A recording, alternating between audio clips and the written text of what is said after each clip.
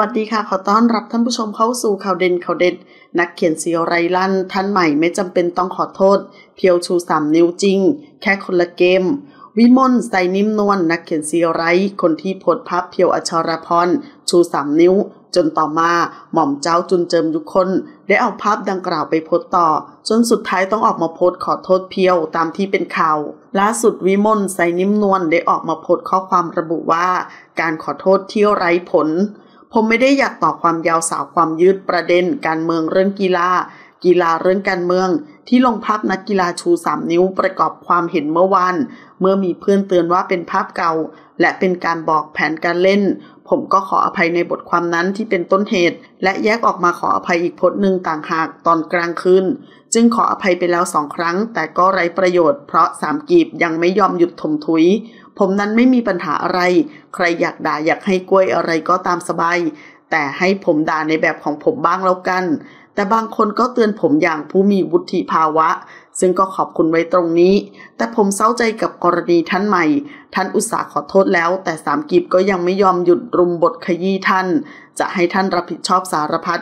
บางคนให้ท่านอัดคลิปขอโทษ และมีจำนวนมากที่ด่าท่าน เรากับได้ประกอบอาชญากรรม ปล้นชาติขายแผ่นดิน ทั้งที่ท่านไม่จำเป็นต้องขอโทษ เพราะนักกีฬาชูสามนิ้วจริง เพียงแต่ชูต่างเกมกัน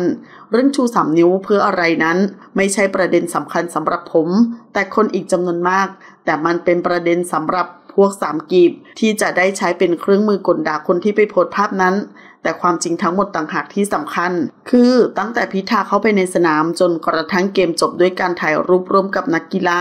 ทุกคนทำมือเป็นรูปหัวใจสามเหลี่ยมอย่างที่พิธาทำอยู่เป็นประจำ มันผิดไหม